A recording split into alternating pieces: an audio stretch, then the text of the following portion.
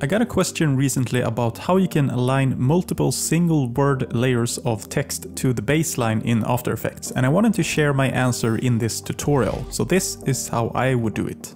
I created a composition with three text layers and I placed the first layer on a line. Now I could simply hold down shift, select all text layers, go to the align window and click align bottom. And that would work for uppercase letters. If you have lowercase letters, it aligns the text to the bottom of the layer instead of the baseline of the text. However, you can solve this very easily by going to the character window, click the all caps icon, go back to the align window, click align bottom, and then go back to the character window again and deselect all caps and there you go. For more short tutorials about aligning text or shapes, check the end screen of this video and if you are new here, consider subscribing because I have more time-saving tutorials on my channel. Thanks for watching, keep learning and have a great day!